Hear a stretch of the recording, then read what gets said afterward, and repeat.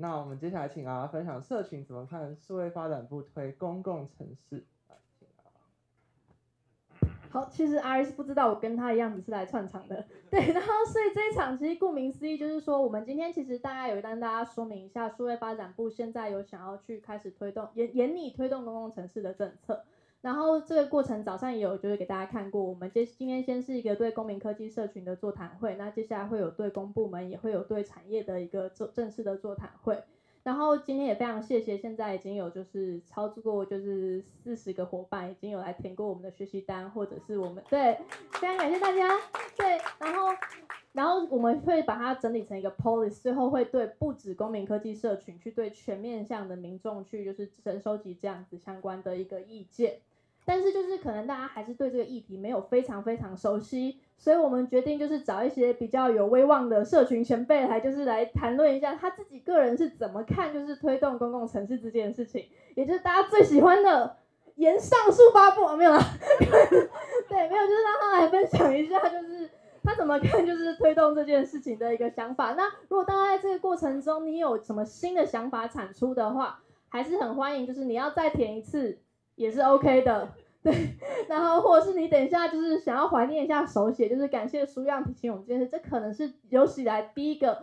手写的 police，所以也可以就是去手写一下学习单，然后就是把你的意见就是放到 police 上面。对，那我们就欢迎我们的前辈 Frank。好，谢谢大家。我今天真的是突然被推坑的，因为本来。没有，我来这里才告诉我，他告诉我说我今天要上台。好，那我我其实就是稍微谈一下啦，就是说，呃，因为 PNPC 这个东西是二零一七年从欧洲自由软体基金会那边倡议的。那他们一开始倡议的时候，我就注意到，然后我就去跟他们联系，我说，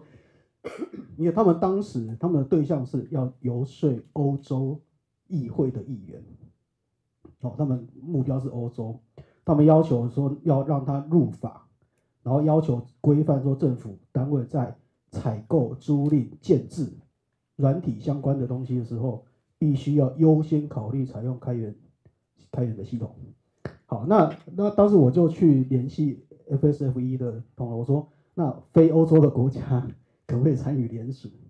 他们就同意了。所以基本上你现在去看那个 public public code 点 EU 那个网站。哦，他们的那个正理中文基本上都是我做的。那当时我就是好没关系哈。那当时就是我就是把这个概念，我希望能够带进台湾来，所以我其实还蛮开心，就是说后来数位部开始出现，然后唐部长他们愿意把这个东西纳入他的考量。但当然现阶段他们所提到，就是数位部所提到所谓的公共城市，其实比较着重在 public core 部分。但我必须要说，PNP 整个概念上面，它是一个非常着重公众利益的。的一个政策，哦，那它其实有蛮重蛮重要的焦点在 public money，哦，不是只有单纯 public code 而已，哦，所以他当然就是他他谈到的概念是说，呃，政府单位你需要使用到数位的服务，你需要使用到软体，包含内部还有对外开放的服务等等的，为什么需要采用开放源码？当然有几个重要的特色，哦，当然第一个，呃，我们我我现在有因为我是临时，我知道。就我的记忆稍微谈一下，当然第一个很重要是说，呃，它可以重复利用，哦，因为我们现在看到非常多的非常多的状况是各个县市政府之间，他们都在做同样的事情，然后呢，台北市做出来的东西呢，高雄市可能不缺用，哦，类似像这样的状况，其实真的很多，我真的看很多，哦，那我们当然会期望说，因为这个东西基本上重复开发它就一种浪费，浪费就产牵涉到这讲 public money，好，那这是第一个，那第二个其实就讲到大家蛮常。关切的所谓安全性的问题，因为这个是一个很常见的误解，就是好像开放源码之后，好像就容易比较容易被被攻击，或比较容易什么的。那这个其实我在我去年帮那个诺曼基金会 写了一本手册，哦，就是他原本是一开始是希望我写一本那个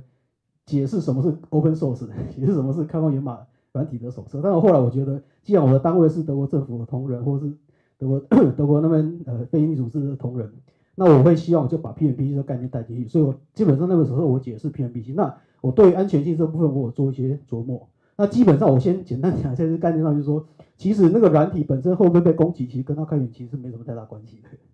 好，那我想我想在场各位应该都很清楚这概念。然后，包括我在那个手册里面我特别提到。好，那当然，另外一个很重要，我在讲到说，呃，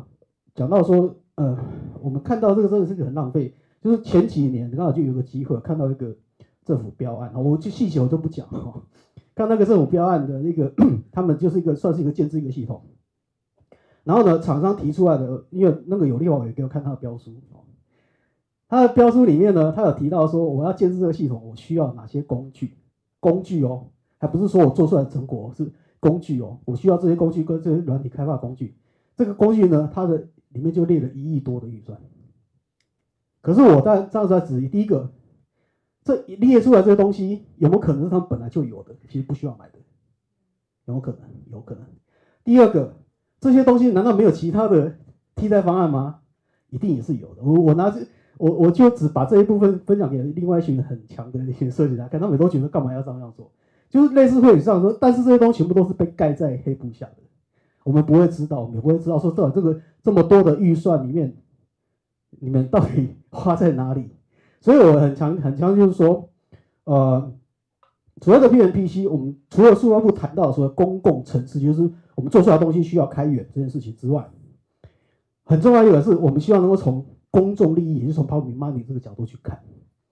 哦，这是我我会，这是我我这是我对数发部的期待，就是说。我们先这个大框架先提出来，不是因为像目前我看到大部分都还是专专专注在说建制新系统上面需要开源，那我希望能够更延伸到所谓的采购租赁这部分，因为这部分确实是很大的一个钱坑在那边。好，我想我先分享到这里就好，谢谢。那我们谢谢就是 R 和 Frank，那我想 Frank 刚刚有分享他非常多真实的想法，就是 Frankly speaking。对，对，那我们今天的，对，那我们今天的短讲就到这里。那如果大家对于刚刚的题目有兴趣的话，可以再去看他们就是在共笔主题上面的内容。那大家就可以就是好好准备，就是待会的就是成果发表。谢谢大家。